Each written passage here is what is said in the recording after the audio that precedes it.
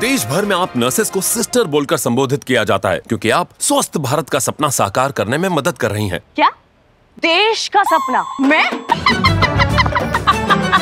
जो खुद अपना घर बनाने का सपना पूरा नहीं कर पा रही है। होम लोन नहीं मिल रहा है। वो कहते हैं कि 50 किलोमीटर के एरिया के अंदर वाली प्रॉपर्टी को ही होम लोन देंगे। वो भला देश का सपना साकार करने में कैसे मदद करेंगे? आधार हाउसिंग फाइनेंस लिमिटेड देगा आपको होम लोन, क्योंकि हम समझते हैं, घर बनेगा तो देश बनेगा।